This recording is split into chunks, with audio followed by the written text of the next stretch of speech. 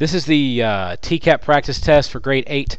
It says which expression can be used to find the product of uh, 10, 5.8 times 10 to the 34th and 4.7 times 10 to the 15th. The big thing here is product, which means multiply. Now, the question doesn't actually have me find an answer. It wants to know how I'm going to set them up. In order to set them up correctly, I need to think back to the order of operations. I like to think of them as a little pyramid. And by the way, it can be multiply or divide, it doesn't matter.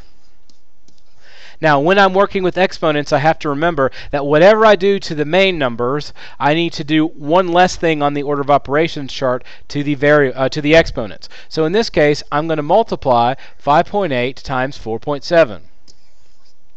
Anything that doesn't show multiply between 5.8 and 4.7 is wrong. So these two are both out. Now the uh, now that I'm gotten to the point that I have the multiply questions, whatever I do with those numbers, I do one less with the exponents. So I'm going to do add with the exponents. So I find the one that has multiply, and then it has add.